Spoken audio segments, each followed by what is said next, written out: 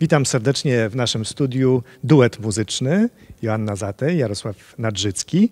Jarek jest skrzypkiem, Joanna pianistką, na co dzień współpracują oczywiście ze sobą, a podczas tego konkursu uczestniczą w prezentowaniu instrumentów konkursowych. Na czym polega największe wyzwanie związane właśnie z uczestniczeniem w takim przedsięwzięciu? Hmm, dla nas to była ogromna koncentracja. Poza wielką radością i satysfakcją i wręcz taką frajdą e, grania na tylu instrumentach naraz, e, ja muszę powiedzieć, że nigdy nie miałem e, wcześniej e, styczności w ciągu dwóch godzin z tyloma instrumentami. E, znakomitymi instrumentami, ponieważ moim zdaniem to są instrumenty no, wybrane spośród tych kilkudziesięciu, najlepsze instrumenty, które już, już z nami zostaną, prawda? To już są te wygrane instrumenty, także niezależnie od tego, który zdobędzie pierwszą, drugą, trzecią nagrodę, uważam, że wszystkie um, już mają swoje życie. E, i kto wie, e, jak to się później zmieni po latach, prawda, bo instrument pracuje, ale to już jest inny zupełnie temat. E, dla mnie mm, to była właśnie poza wielką radością wielka odpowiedzialność, prawda, ponieważ zaczęliśmy, pierwsza prezentacja to był instrument testowy Pietro Guarneri. No właśnie, a właściwie skąd, y, jak, jak, sądzicie, skąd ten pomysł na instrument testowy? Dlaczego on się musi pojawić y, w takim konkursie? No naturalnie musi się taki instrument pojawić, żeby był jakiś punkt odniesienia, prawda? To jest Ale to jest instrument chyba już bardzo taki uznany, dobry. Tak, tak, oczywiście to jest instrument ze Związku Polskich Artystów Lutników e, z kolekcji konkursowej e, z Warszawy, e, z której ja też kiedyś miałem przyjemność wypożyczać instrument, co prawda nie ten model, ale również z, no, z tej powiedzmy najwyższej półki. E, I, I, no, znam te instrumenty, rzeczywiście kolekcja jest piękna, e, także ten Pietro Guarneri jest e, idealnym modelem, idealnym pod właśnie, który się nadawał jako instrument testowy, ten wzorcowy, do którego porównywane były kolejne.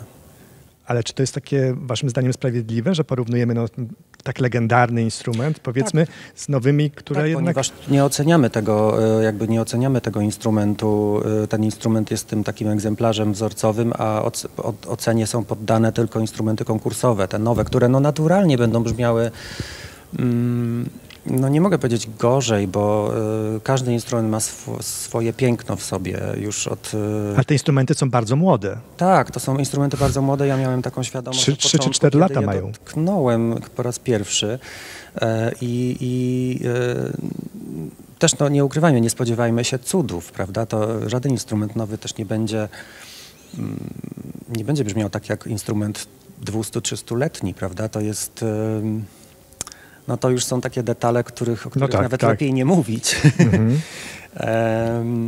no ale jak już wracając do tego tematu, instrument testowy oczywiście musiał być. Ja miałem też troszeczkę obawę, e, grając na tym instrumencie testowym, e, czy rzeczywiście on będzie brzmiał lepiej od tych instrumentów no konkursowych, prawda? Tak. Nie wiem jak było, ja nie oceniam. Um, ale, ale, czy tobie się grało dużo lepiej na tym testowym? Tak, tak na tym tak? testowym mi się grało oczywiście A, znakomicie. Czyli czuło się różnicę? E, no był to Guarneri, no nie no tak, no tak. Ja też czułam to jest, różnicę, to jest instrument, e, to jest też instrument już e, grany wcześniej, prawda?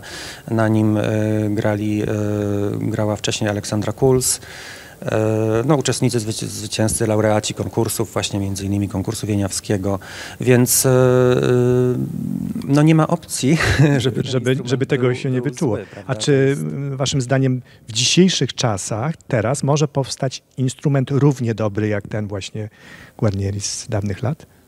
Trudno powiedzieć, bo przecież instrumenty, one żyją jakby własnym życiem i e, przecież było pełno różnych e, badań, na przykład nad Stradivarium, to jest chyba jeden z bardziej zbadanych instrumentów e, w historii w ogóle lutnictwa. I, I tak naprawdę przecież też próbowano zbudować dokładnie takie same instrumenty i one po prostu nie brzmiały. Więc no, nam jako muzykom ciężko to ocenić. Oczywiście lutnicy tutaj pewnie mogą dużo więcej na ten temat powiedzieć, co trzeba zrobić, jakie warunki spełnić, żeby zbudować taki instrument, który by świetnie brzmiał, bo dla nas byłby to porównywalny, jest... I byłby porównywalny, tak, bo tak, bo właściwie walory brzmieniowe, nośność dźwięku, dynamika, y, barwa, to jest dla nas y, muzyków chyba najważniejsze. Nawet y, no, y, śmiem powiedzieć, że ważniejsze niż y, sama konstrukcja i jego walory czysto techniczne od strony budowania. Aczkolwiek muszę też powiedzieć, że moje obawy, tak jak jeszcze wracając do tych obaw y, przed tak. zadaniem, jakie nam y, przyszło spełnić, tak. ja muszę powiedzieć też, że pierwszy raz w ogóle brałam udział w tego typu przedsięwzięciu, tego typu konkursie, bo grałam również na Wieniawskim, ale y, jest to coś kompletnie innego, bo tak sobie myślałam, jak ja się też odnajdę, czy moja rola tam jest bardzo ważna, czy mniej ważna, czy w ogóle jak ja mam się tam znaleźć emocjonalnie emocjonalnie, ale na szczęście my z Jarkiem gramy na tyle dużo, że znamy się bardzo dobrze i wiedziałam, że y, będę w stanie jakby towarzyszyć i nie zepsuć tego wrażenia, które jest ważne dla jurorów, żeby ocenić walory brzmiowe instrumentu, a nie to, jak my razem gramy, chociaż to też jest, y, myślę, że dosyć istotna y, sprawa. Czyli najpierw była prezentacja na instrumencie testowym, no i później zaczęły się prezentację tych e, instrumentów konkursowych. Nie wiem, jak, jak się nazywa rola takiego muzyka, który właśnie prezentuje? Tester? Tester? tak samo nie zastanawiałem się nad swoją rolą. Właśnie tak, tak myślę, jak, jak nazwać taką osobę, która, która po prostu... Mm, znaczy, no, rzeczywiście mi towarzyszyło ogromne, demonstruje, skup, tak. ogromne skupienie, ponieważ... Demonstrator. E, Demonstrator. Tak, e, demonstracja. Dem, pełna demonstracja. Dokładnie. Mm, ja nie ukrywam, że miałem, e, praktycznie nie miałem kontaktu z tymi instrumentami przed. Ja je zdążyłem tylko, tak powiedzmy, nastroić minimalnie, zagrać na, na każdym z nich po dwa dźwięki, żeby rzeczywiście się z, ni z nimi oswoić a już tak naprawdę w czasie konkursu, yy, począwszy od gamy chromatycznej. No właśnie, gama chromatyczna na wszystkich strunach, tak? Tak, jest to no, no. konieczne, żeby rzeczywiście sprawdzić, e, czy wszystkie dźwięki się równomiernie odzywają, czy nie ma tam jakichś takich większych problemów, ponieważ problemy się zawsze pojawiają, nie ma skrzypiec idealnych, prawda? Gama chromatyczna jest czymś, co totalnie obnaża ten instrument, ponieważ nie jesteśmy w stanie tego dźwięku w żaden sposób upiększyć, nie możemy zbudować jakiejś frazy, jakiegoś napięcia, prawda, które robimy w muzyce, tylko po prostu gramy jak najczystsze dźwięki, co też oczywiście jest, e, wymaga e, wielkiej koncentracji ode mnie, wielka odpowiedzialność, żeby e, na każdym instrumencie po prostu idealnie tą gamę w miarę możliwości No właśnie, no bo jak, jak coś nie wyjdzie, no to troszkę jest to ze szkodą dla tego lutnika. Czy miałeś takie poczucie, że takiej presji, że, że, że od tak, ciebie zależy sukces jest presja instrumentu. na mnie, jakby obnażenie moich możliwości technicznych, muszę powiedzieć, ponieważ tam no, w gamie nie ma, nie ma muzyki, prawda? To jest... Mhm. Takie na zimno granie, prawda? Każdy dźwięk jest już tworzy muzykę, prawda? Ale rzeczywiście, tak jak mówisz, Asiu, to takie granie na zimno. E, I, e, ale było to konieczne, jak najbardziej konieczne, ponieważ później właśnie słyszałem od e, ludzi, ocenie, od, no może od wszystkich, którzy oceniali, czyli od słuchaczy, że w sumie już po gamie było słychać, który instrument jest tym, tym który zasługuje powiedzmy bardziej na tą na nagrodę, prawda? A ty już to czułeś e, podczas e, wykonywania? Poniekąd tak, poniekąd tak, ale się Aha. nad tym zupełnie nie, nie zastanawiałem. Zastanawiałem się, no właśnie, nad e, przede wszystkim miałem ogromne, właśnie tak jak już powtarzam po raz setny, skupienie.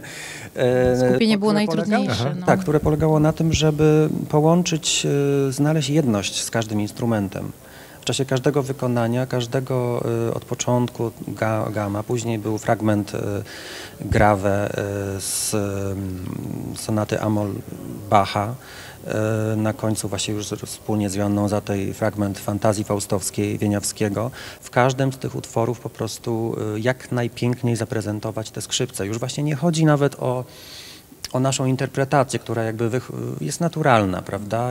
No nie, ja nie jestem w stanie grać pustych dźwięków, nie myśląc o muzyce, o, muzyce, o frazie, o, o, mm, o tym, żeby dać z siebie wszystko w czasie, niezależnie od jakości instrumentu, prawda? Jaki ten instrument by nie był, ja staram się poczuć z nim jedność, E, wiedząc, że za chwilę mi zostanie odebrany i dostanę kolejny. Tak jakbym dostał jako śpiewak kolejne struny głosowe przetestowania. przetestowania. Ale w danym momencie, czyli w danej sekundzie mm, nie mam wyboru innego, tylko po prostu mam ten dokładnie instrument, na którym e, gram jak najpiękniej. I to był główny mhm. mój cel. Czyli, czyli w momencie, kiedy wykonujecie taki utwór, to jest troszkę inny rodzaj myślenia niż e, przy okazji koncertu. No na pewno, na Tak? pewno jest to troszeczkę inaczej, ponieważ m, tak ja mogę powiedzieć z mojej perspektywy, słuchając Jarka i, i tych gamy, potem Bacha, starałam się też wynaleźć coś ym, takiego, czy, czego można się uchwycić potem w interpretacji, którą potem mieliśmy wspólnie do wykonania. I miałam nieszczęsne, niestety tylko trzy takty wstępu do y, tego Fausta, bo tam jest cała strona wstępu, którą bardzo lubię zresztą grać. I, I tą jakby tymi trzema taktami chciałam wprowadzić też atmosferę inną za każdym razem, jakby starając się jakby adekwatnie do danego instrumentu, co słyszałam y, chwilkę wcześniej. Także no było to w sumie trudne, bo z jednej strony nie można było przedobrzyć w żadną stronę, nie można było y, teraz stwierdzić, a to zagramy coś kompletnie inaczej, dlatego że oni, y, y, jurorzy musieli mieć punkt odniesienia, że jednak gramy podobnie, więc y, w tych samych warunkach ten instrument dany się tak, a nie inaczej zachowuje. I do tego no, ciężko też było dla mnie y, uchwycić jakby jedność z Jarkiem, przez to, że on stał trochę dalej ode mnie niż zwykle na Za koncertach. parawanem. Po pierwsze za parawanem, a po drugie zupełnie w innej odległości ode mnie. Aha. By zupełnie z przodu, że nie mieliśmy mm, kontaktu Grałeś, zwrotnego. grałeś, grałeś już kiedyś za parawanem? Nie. Jakie to doświadczenie? Bo to jest ciekawe bardzo. Jak Jak zobaczyłem do w ściany którym- chyba. Dla nas właśnie tak jak e, Asiu mówisz, to było dość e, dziwne, ponieważ e, trudno nam było po, jakby poczuć tą jedność, Tak, dlatego że tak. e, nawet to, że ty byłaś widoczna e, dla wszystkich, prawda? Tak, dla a Jarek wcale. Na YouTubie, a ja byłem tylko mój cień. Czy czułeś dyskomfort z tego powodu? Nie, absolutnie. Znaczy czułem jedynie lekki dyskomfort, że po prostu nie możemy się poczuć jak na koncercie i Tak, razem i że ta- odwrócić się do właśnie. siebie, jakoś się komunikować Tak, tak, bo zazwyczaj po prostu Tylko jesteśmy rzeczywiście- dosyć blisko siebie. Z, y, Tak, no ale to No. było konieczne, no bo gdyby parawan, Wiadomo. gdybyśmy byli dosyć blisko, to parawan by zakrył i mnie, i ciebie, co, No, co by- chyba nie byłoby bez sensu. konieczne, Mhm. prawda? Ym, a jeśli chodzi o sam ten parawan, który tam stał, no on był na tyle ym, oddalony ode mnie, że też nie, jakby nie kolidował z dźwiękiem. Wiedziałem, że za tym parawanem e, Siedzą. są ludzie, siedzą, oceniają Mogło być ich jeszcze więcej, gdyby to nie była tak, sytuacja pandemiczna. Tak, e, oceniają dźwięk e, instrumentu, no mniej patrzą na moją grę, prawda? E, Chociaż jest to taki środek do celu, nie? Tak, Ja parę razy grałam za parawanem, grając y, na przesłuchaniach różnych do orkiestry Aha. i muszę powiedzieć, że to jest fatalne doświadczenie. Dlaczego? E, Po pierwsze, nie czuję y, akustyki, bo to mi ucina kompletnie y, poczucie y, informacji zwrotnej, mm, bo się tym kieruję, czy grać głośniej, czy ciszej, czy jestem w dobrym balansie ze skrzypkiem. A po drugie, brakuje mi y, tego kontaktu z żywą osobą. Nie wiem, kto mnie słucha, czy oni się śmieją, czy, czy co, co robią. No wiadomo, że jak się gra do orkiestry, to jest też inna rola pianisty akompaniującego, ale nie lubię. Znaczy, ja, ja powiem szczerze, że mi ten parawan nie przeszkadzał, ale nie wiem, jakby było, Jakby gdybyśmy... byś normalnie. Nie, nie, nie. Chodzi mi o to, gdybyśmy się znaleźli w tej sytuacji, gdybym powiedzmy 5 lat temu e, był w roli tego testera. E, to był czas, kiedy no, nie było pandemii, nie przeżyliśmy tego koszmaru. Właśnie. Los nam zgotował. Tak. E, a w ciągu tego roku i poprzedniego no, wiele różnych ciekawych rzeczy się zdarzyło i ciekawych też nagrań. I właśnie tego, Ale się przyzwyczailiśmy, mówisz, nie? Brakuje ci, Asiu, kontaktu z Tak, publicznością tak, żywą. tak. No to jest dokładnie to, czego nam brakuje od ponad roku, prawda? Mhm. E, więc jakby mm, mając już to doświadczenie za sobą, e, Tak, grania w nie wiem, maskach. dlaczego tak jest, no dokładnie. Ten parawan mi zupełnie nie przeszkadza. No miejmy nadzieję, że już niebawem będzie zupełnie inna sytuacja nadzieję, tak, oczywiście. e, e, występów. A powiedz Jarku, jaki, na jakim ty instrumencie w ogóle grasz na co dzień? Oj, to jest instrument, e, który też ma bogatą historię. Może zacznę od tego, że pochodzenie nie do końca znane. Jest to włoski instrument, który 100 lat temu, około 100 lat temu przeszedł generalny remont. Można powiedzieć, że tak powstał jak Feniks z popiołów, ponieważ podejrzewam, że był po jakichś niesamowitych, groźnych przejściach.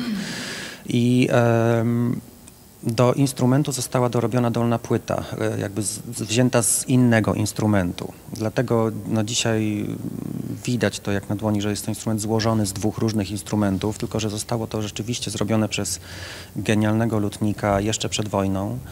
E, i e, wręcz musiał e, poszerzyć górną płytę, ponieważ dolna była widocznie ten drugi instrument, który posłużył jako właśnie zastęp, zastępstwo jakby za dolną płytę, był szerszy. Także to nie lada wyzwanie było dla tego lutnika i jeśli chodzi o moje doświadczenie pierwsze z tym instrumentem, to ma związek z, mm, z ze świętej pamięci profesor Jadwigą Kaliszewską, do której e, jeździłem jako mały, mały chłopiec na pierwsze lekcje, pierwsze takie poważne, dorosłe lekcje, skrzypiec. Mhm. E, profesor Kaliszewska właśnie miała, m, miała ten instrument od wielu, wielu lat już wcześniej. I e, to jest też instrument, na którym grali laureaci konkursu Wieniawskiego, między innymi, o ile mnie pamięć nie myli, Piotr Milewski. Także no, mam szczęście grać na tym instrumencie. E, jeszcze przed śmiercią profesora Jadwigi Kaliszewskiej e, mogłem go nabyć e, i, wydaje mi się, że on nawet był instrumentem testowym podczas jednego z konkursów lutniczych. Nie pamiętam kiedy, ale jak wiem, no, profesor Kaliszewska również była jurorem, była też swojego rodzaju testerem tych instrumentów, więc no, podejrzewam, że no, nie omieszkała porównywać tych nowych instrumentów do swojego. Jest to instrument wyjątkowy rzeczywiście, aczkolwiek na skrzypce same nie grają, jak wszyscy wiemy. I ja mam taką śmieszną historię e, z tym instrumentem związaną z, e, z moim koncertem e, w Londynie, w Wigmore Hall. Kiedyś, kiedyś, jak jeszcze byłem studentem w Londynie, miałem przyjemność grać na Stradivariusie pięknym Stradivariusie, który był ciutkę mniejszy od moich skrzypiec. On był taki nie do końca, powiedzmy takie 7 ósmych. Było to coś niebywałego, aczkolwiek e, los tak chciał, że te skrzypce przed samym koncertem dosłownie e, rozpłynęły mi się w rękach. to znaczy, no był tam jakiś minimalny defekt i e, struny puściły, strunociąg naderwał się, można powiedzieć, i, i, instrument się po prostu rozpłynął, no tak w czasie grania.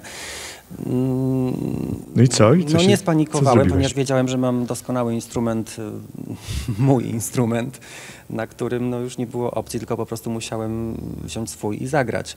I e, muszę powiedzieć, że nie wszyscy ale... o tym wiedzieli.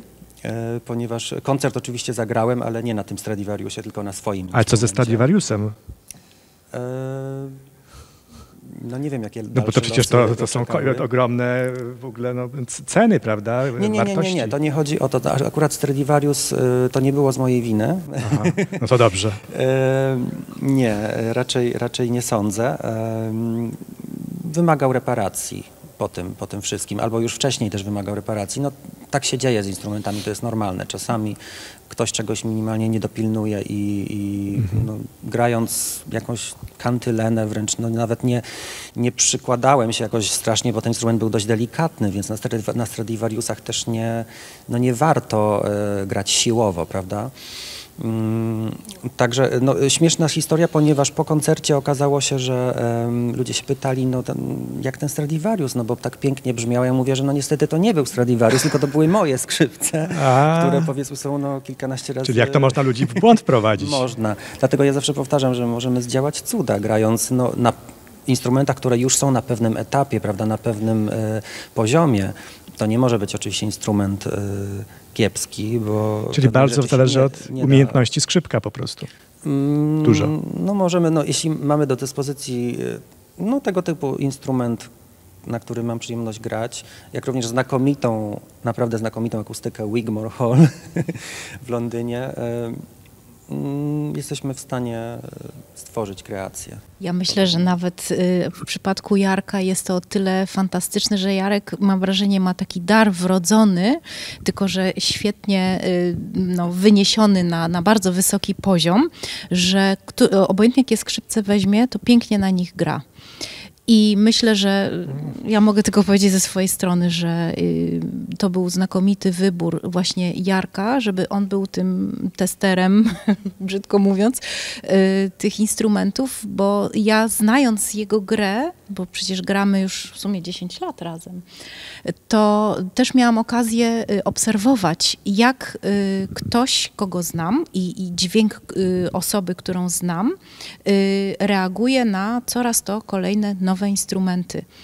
I rzeczywiście, na przykład tak jak Guarneri, y, pierwszy raz miałam okazję tak blisko mieć do czynienia z tym instrumentem, to słychać było, że to jest bardzo stary instrument, pięknie brzmiący, ale Jarek robił wszystko, żeby te kolejne instrumenty też świetnie brzmiały. Także ja, ja byłam tym zachwycona. Rola, prawda? Taka Tak. jest nasza rola, bo te instrumenty oczywiście były już na odpowiednim poziomie, e, na takim, że można było z, z, je jeszcze upiększyć, prawda? No wiadomo. Swoją grą. No po to, po to my jesteśmy. Tak. Tak samo ty, Asiu, po to e, jesteś, żeby właśnie zrobić nie tylko ze Steinway, ale również z instrumentu wielokrotnie graliśmy w różnych Tak, miejscach. w różnych miejscach. niestety nie zawsze Był kiepski, ja musiałam robić cuda, żeby, żeby to pięknie brzmiało tak, jak ja sobie to wyobrażam. Na szczęście teraz tutaj miałam bardzo dobry instrument, Bezendorfer, yy, na którym nie mam okazji zbyt często grać, yy, bo nie jest to tak bardzo popularny instrument w Polsce, jak na przykład Steinway czy, czy inne yy, instrumenty, ale był też na tyle inspirujący, że chciało mi się jakby na nim jeszcze i jeszcze grać i tworzyć i coś kreować pięknego, żeby można było jak najładniej pokazać te walory instrumentów y, lutniczych, konkursowych. Czyli w przypadku tego konkursu właściwe osoby na właściwym miejscu i laureaci będą mogli tak naprawdę Wam podziękować za to, że sprawiliście, że jeszcze piękniej ich instrumenty tutaj zafunkcjonowały. Bardzo Wam dziękuję za rozmowę. Dziękujemy, Dziękujemy bardzo. bardzo.